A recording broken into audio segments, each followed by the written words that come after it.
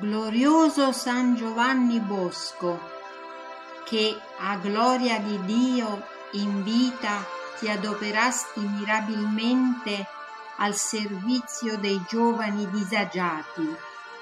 Intercedi, te ne preghiamo, per tutti i giovani del mondo sedotti dal modernismo apostata a cominciare da quelli della nostra cerchia familiare e parentale, assicurandoti la nostra profonda devozione, speriamo di poterti ringraziare un giorno nella Gerusalemme celeste.